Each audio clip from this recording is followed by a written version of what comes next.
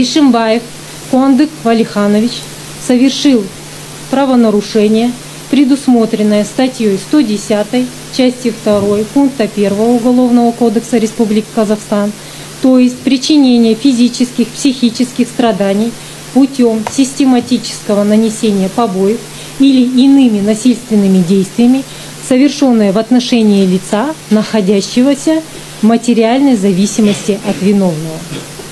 Также Бишимбаев Фондык Валиханович совершил правонарушение, предусмотренное статьей 99 части 2 пункта 5 Уголовного кодекса, то есть убийство, противоправное умышленное причинение смерти другому человеку, совершенное с особой жестокостью.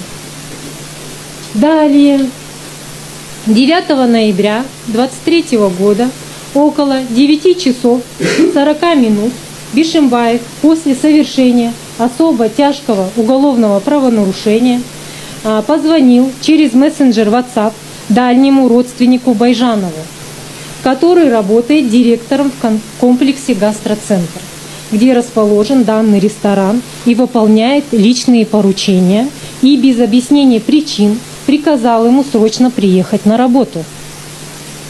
Затем 9 ноября около 10 часов 20 минут дня Байжанов приехал на свое рабочее место, поднялся в ресторан «Бау», расположенный на втором этаже, где зашел в вип-зал номер один, где находились Бишимбаев и Нукенова.